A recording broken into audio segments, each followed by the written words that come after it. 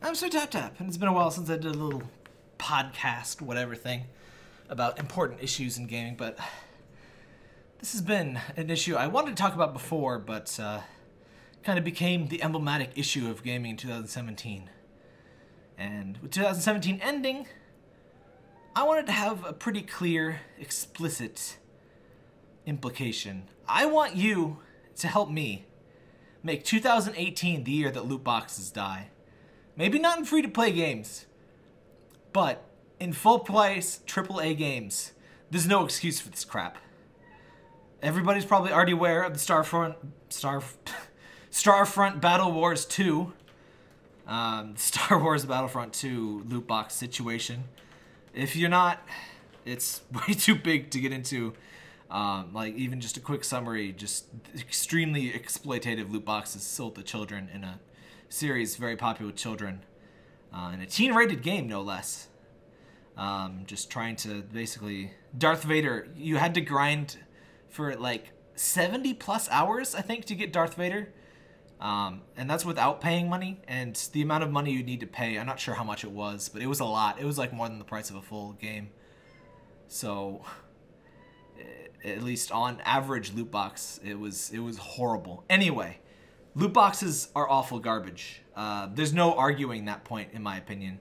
Some people try to pull some defenses. Uh, they're all just bullshit, frankly. All right, so let me tell you a story about what should be the purest, most innocent loot box story you ever did hear. Oh, goodness. So, uh, a friend of mine is a huge fan of the Xenoblades and just the whole Xeno series. The Gears, the Sagas, the Blades, all of the Xenos.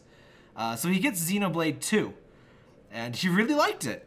And the one thing he really wanted, so it's got a loot box system, but you can't pay for it. So obviously it's a good, it's not an exploitative system if you can't pay for it, right?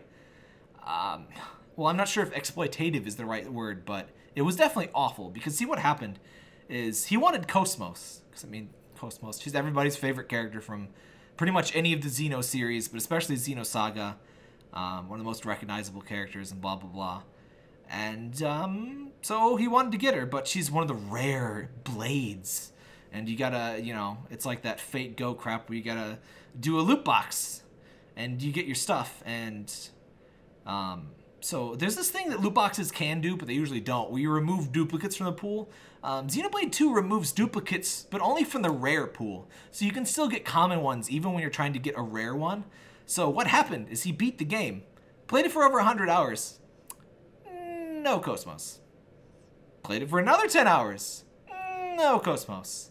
Completed all the side stuff. No KOS-MOS. Um, I don't know if he ever got his KOS-MOS, but he was at the point where he had literally nothing to do, even if he got her. He would just be grinding against trash mobs that he could beat with like his pinky finger while it's, you know, cut off and put in a box. Just his pinky finger would just kill everything in the game because he's level 18 billion and so on. And he still didn't have KOS-MOS. And you know what? That's what happens with loot box stuff. Uh, it is possible to make loot boxes less awful. Um, in fact, it would be pretty simple. The simplest thing you can do is simply remove duplicates from the pool immediately. Um, that that becomes like that goes from being exploitative gambling garbage to just like oh, you know, there's 10 things to get and you're gonna get all of those 10 things. You just don't know what order you're gonna get them in. That, in my opinion, is fun. That is fine. That is a fine way to go about things, but they're never they never do that. They never do. Even when it's free, even when you can't pay for the gashapon, they don't do that. I don't understand that. That is such a simple fix to make things so much less bad. Um, but generally speaking, loot boxes don't want to be less bad. Um, which brings us to the paid loot boxes, like Star Wars Battlefront 2. Um, they they they have a vested interest in them being bad. See, EA tried to be like, oh, we, we accidentally ran some numbers, and oh, and we didn't think it'd be that expensive, and oh goodness, we made a mistake. But they didn't make a mistake because this is a company called EA, and they have entire teams of highly paid people um, with a specific task to make the monetization as lucrative as possible. They have people that are experts in free-to-play games and psych human psychology and gambling, and what they want to do is take a bunch of dumb teenagers, sorry teenagers, who love Star Wars and are a little bit susceptible to gambling. What they want to do is lure those kids in like, hey kids, Star Wars, get in the van. And then you get in the van, and there's a slot machine. And they're like, hey kids, you want to own those noobs online, don't you?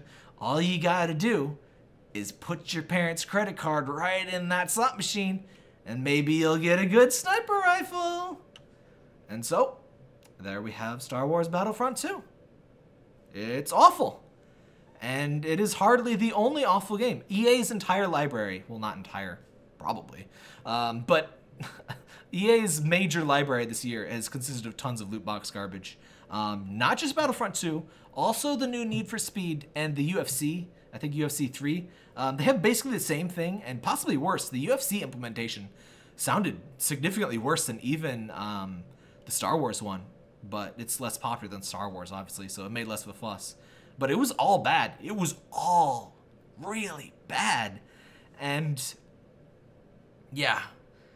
What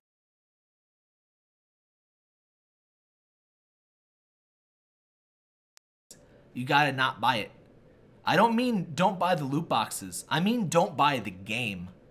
Because you see, EA learned a pretty harsh lesson with this loot with uh, Battlefront 2 because the sales dropped like crap and they had to pull the loot boxes entirely. They're probably going to put those loot boxes in back. And if you have Battlefront 2, do not buy those loot boxes when they put them back in either. You can't do that. See, for us to make 2018 the year where loot boxes die, all you got to do is look at a game with loot boxes and be like, no, not to buy that. Because you know what? There is so much good shit out there. There is so much to play.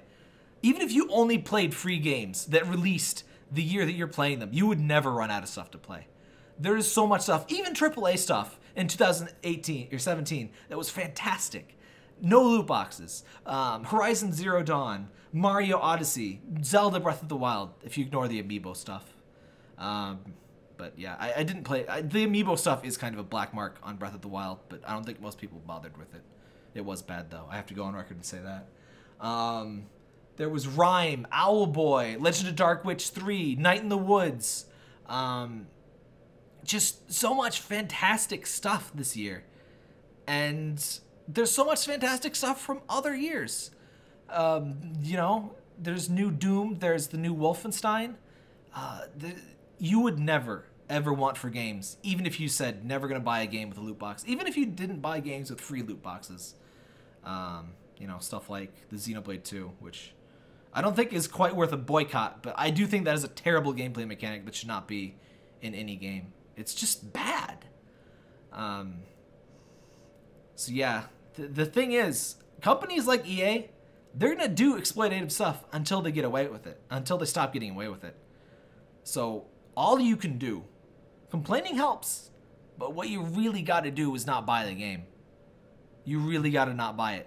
And I I have to include the Call of Duties in this too, because Call of Duty has this new thing where, oh, if you're near somebody when they open a loot box, you get free things, right? And everyone's like, oh, how could you possibly complain about getting free stuff?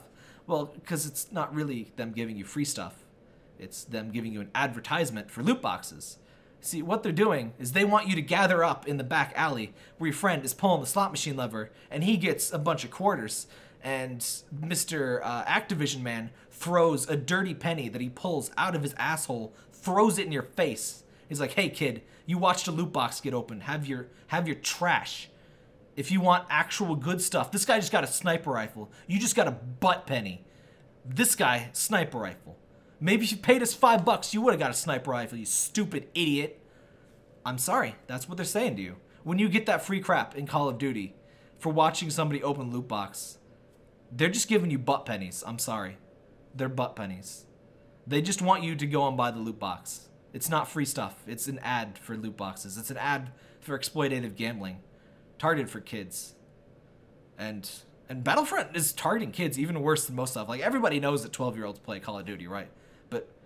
Battlefront 2 is for T, rated T for teens, so you know you have 13 year olds, you know, justifiably being able to play it, and this they might get they might get legislated. Um, personally, I would rather loot boxes die simply because players are completely outraged and would never spend their money. Um, but if if they get regulated out of existence, I'm totally fine with that too. Uh, I would support any effort to do that.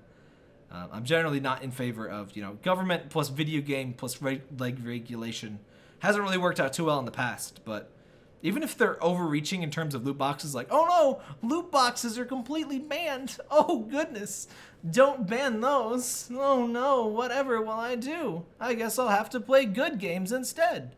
Like, what are they gonna do? Um, I, I, I kind of hope it doesn't happen, but I kind of hope it does happen because screw that. Like, ideally, just the the loot boxes have to stop. That's that's frankly all I really care about. Um, I don't care if a big company like EA has to have some kind of great fall because they put all of their loot boxes and stuff, and loot boxes suddenly die out. Um, I don't care if sales just decline overall and people realize, oh, if we didn't put loot boxes in, that wouldn't have happened. I don't care if legislation happens, but loot boxes have to die. You and I, we can make it so that 2018 is the year loot boxes die. The number one thing you got to do is when a game has loot boxes, just don't buy it. Just don't buy it. If you can pay money for items in game with a random chance, don't buy it. And see, randomness is supposed to be fun, right? I don't generally find random stuff fun. Um, but a good example of randomness is Binding of Isaac. Sometimes I get frustrated with it, but the thing about Binding of Isaac's randomness is that you can overcome it with skill. There's absolutely no element of skill in loot boxes. You just get stuff. And sometimes it's really good, sometimes it is butt pennies. And it's usually the butt pennies. So just ugh. Like you, you can't outskill a loot box. Loot boxes are like playing with a secret character every time in Binding of Isaac. You're always gonna lose. Because even if you win a run as the lost, you played as the lost. So you you lost. You lost the game because you had to do that. I'm sorry. I had to do it. Some people even played the keeper. I haven't played the keeper. But uh, from what I've heard of the keeper, you lose even harder. Parker decided it was time to stop recording and smacked the spacebar with his tail. Thank you, Parker. Anyway, I think I pretty much made my point. Please don't buy loot boxes. We can end this exploitative garbage. You and I. We can do this.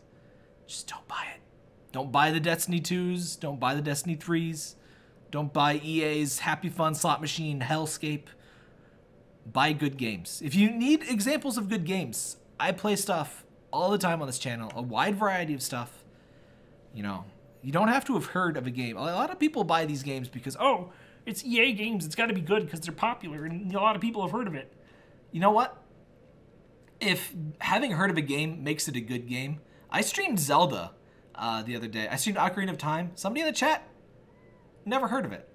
Obviously, that means it's a bad game, right? Ocarina of Time, officially bad game because somebody hadn't heard of it. Now, see, people need a major attitude adjustment on that. When you hear of somebody talking about uh, something that they liked that you hadn't heard of, be like, oh, I have not heard of this before. Please put into my life this goodness that I have been missing. You not having heard of something means that you might just discover a beautiful delight without paying for a loot box. So, when there's a cool new game that you haven't heard of, go check that out. Don't be like, I haven't heard of this Zelda character. It must be bad. You know, that's that's just gonna make that just makes life worse for you. So, just because it's made by EA doesn't make it good. Quite the opposite, frankly. Um, just because you haven't heard of it doesn't mean it's not worth checking out. This is the age of YouTube and Steam returns. Um, you can watch a video of the game and see if it looks good. And you can play the game for up to two hours. And if it's not good, you can return it. There you go. Don't buy loot boxes. Don't buy loot box games. Don't even talk about them. Just, just refuse to engage with anything loot boxy. It's just not worth it. Oh, right. One final point, since I know somebody's going to bring it up because somebody always brings it up. People always bring up the same terrible, terrible defenses of loot boxes. Every time. It is disgusting. You guys need to stop it. Anyway, people always bring up the, oh, it's just cosmetic. If it's, if it's cosmetic, it's fine. Here's the thing about video games. They're video games. What do you do in Zelda? You get all of the things and beat the game, and then what you do is you go get all of the other things you missed. Uh, there's entire genres named entirely this. Collectathons, Donkey Kong 64. The entire gameplay is getting all of the things. Super Mario 64. What do you do? You get all of the things. Super Mario Odyssey just released that this year. You get all the things. That is the game. The game is to get all of the things.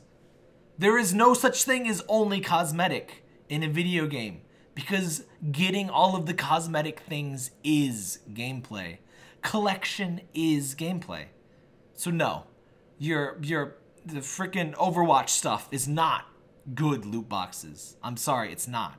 With its seasonal events and crap and you know, limited time windows to pay real money to get digital stuff. No, it is not.